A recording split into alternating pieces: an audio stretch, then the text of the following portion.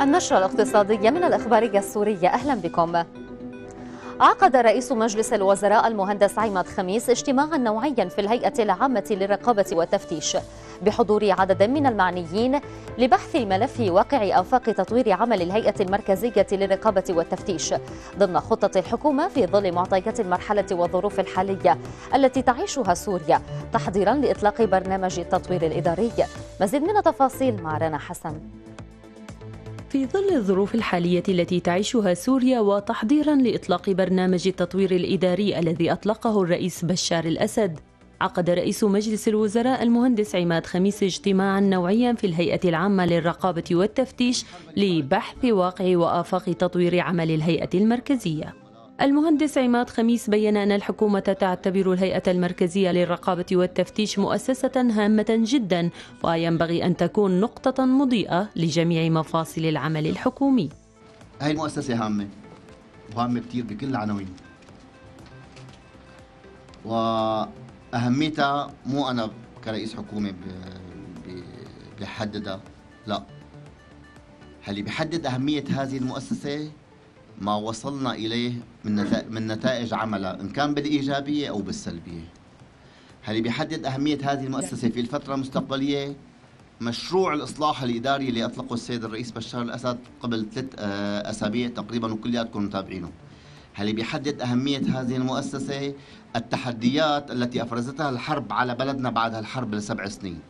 اللي بيحدد أهمية هذه المؤسسة؟ هي مستقبل سوريا اللي نحن بدنا ننظر له اليوم. بعد هالحرب الظالمة على بلدنا وما أفرزته على كل مواطن سوري يؤمن بسوريا. فإذا نظرنا للمخرجات الأربعة وأكثر من هيك في أهمية بنلاقي هالمؤسسة هي من المؤسسات الهامة في بناء الدولة الدولة السورية. وزير المالية الدكتور مأمون حمدان لفت إلى ضرورة أن تحقق الهيئة نتائج فعلية نظرا للصلاحيات التي تتمتع بها. ومن جانبه لفت وزير العدل القاضي هشام الشعار إلى وجود ارتباط وثيق بين عمل القضاء والهيئة. نوهنا آه، كوزير عدل على قدر ما يكون التقرير الذي يحال من الهيئة المركزية إلى وزارة العدل مكتمل مستوفي شروطه القانونية مدعم بالوثائق والأدلة الكافية يكون له الدور الكبير في اعتماده من قبل المحكمة ويكون له دور في تكوين القناعة لدى القاضي في الإدانة أو البراءة عند إصدار حكمه في هذا الموضوع.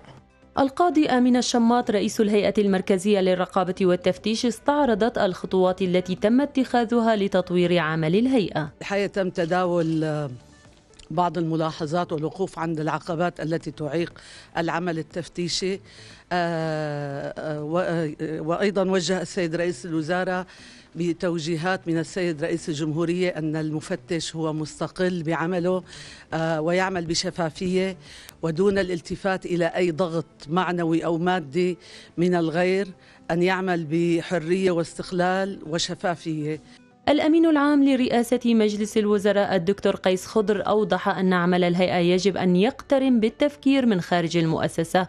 وتثبت قدرتها على الصمود في التحولات والتغييرات الإدارية والهيكلية والتطوير.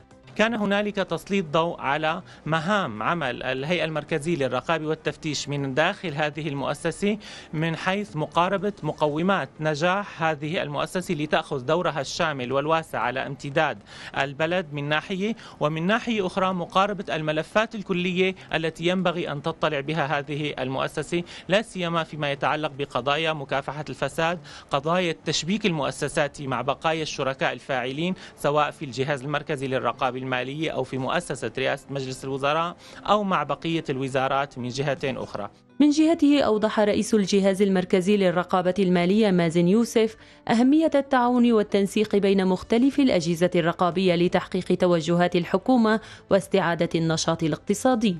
المداخلة تركزت خلال الاجتماع حول تطوير آلية عمل الهيئة من الناحية الإدارية والإجرائية وتحسين واقع المفتشين والاعتماد على الخبرات. عقد وزير النقل المهندس علي حمود مع المعنيين في النقل الجوي كوادر مؤسستي الطيران المدني ومؤسسة الطيران العربية السورية. عقد اجتماعا في مبنى الوزارة. حمود أكد في الاجتماع على تكاليف المؤسسة العامة للطيران المدني الاستعانة بشركة مختصة لدراسة إنشاء صالة ركاب جديدة مع كامل ملحقاتها الخدمية والتشغيلية وإعادة تنظيم وتأهيل مطار دمشق الدولي.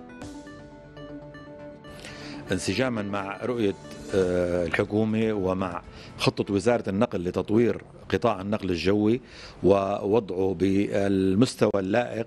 فقد آه، قمنا اليوم بعقد اجتماع وورشة عمل للمؤسسات المعنية في القطاع الجوي آه، المؤسسة العامة للطيران المدني ومؤسسة الطيران العربية السورية لوضع رؤية واستراتيجية لتأهيل آه، مطار دمشق الدولي. وقد خلصنا إلى آه، أن تقوم المؤسسة العامة للطيران المدني بالتعاقد مع جهة دارسة متخصصة لتطوير صالة آه، مطار دمشق الدولي لتصبح بالمستوى اللائق الذي يحقق كل المواصفات العالمية للمطارات وكذلك إعادة تأهيل منشأة المطار لتكون متطابقة مع المواصفات العالمية لمنظمة الطيران العالمي ولكي تحقق الانسيابية المطلوبة للبضائع والركاب خلال الفترة القادمة. صرف المصرف الزراعي التعاوني في حماة نحو 460 مليونا و556 ألف ليرة. قيم فواتير الحبوب المسوقة لفرعي مؤسسة تجارة وتصنيع الحبوب وإكثار البذار في المحافظة منذ بدء عمليات الصرف ولغاية تاريخه. وأوضح مدير المصرف بسام الحلبي أنه تم صرف 88 مليون و120 ألف ليرة قيم الأقماح المسوقة لفرع مؤسسة الحبوب في حماة و372 مليونا و536 ألف ليرة. قيم القمح والشعير المسوق لإكثار البذار مؤكدا عدم وجود تأخير بعملية الصرف.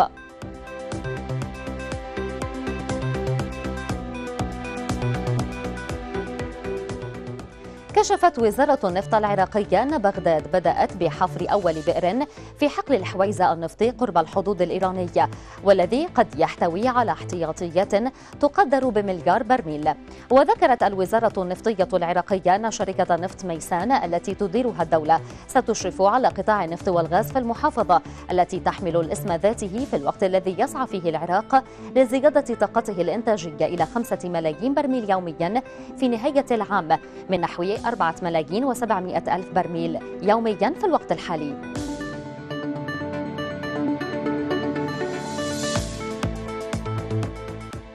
كشف وزير العدل البريطاني ديفيد ليدون جونت أن إبرام اتفاق تجاري مع الولايات المتحدة الأمريكية بعد خروج بريطانيا من الاتحاد الأوروبي لن يكفي وحده لتعويض أثر الانفصال. وبين وزير العدل البريطاني أن الاتفاق لن يكفي وحده لكن سيكون أمرا جيدا جدا وكذلك إبرام اتفاقيات تجارية مع الاقتصادات الناشئة في آسيا وأمريكا اللاتينية.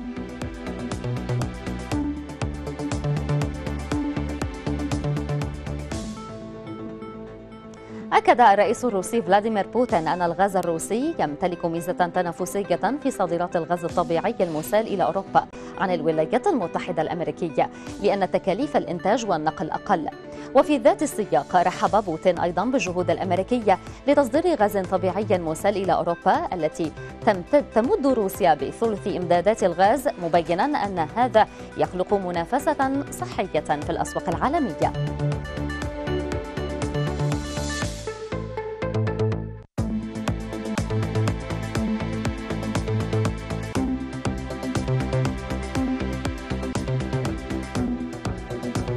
ننتقل وإياكم مشاهدينا إلى أسعار العملات الرئيسية مقابل الليرة السورية.